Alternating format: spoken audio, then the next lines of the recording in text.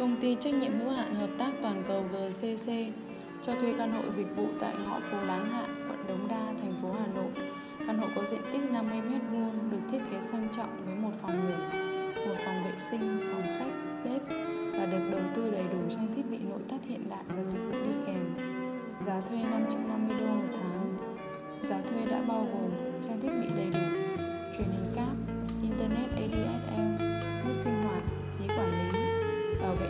trên 24, phí bảo trì, dọn phòng một lần một tuần.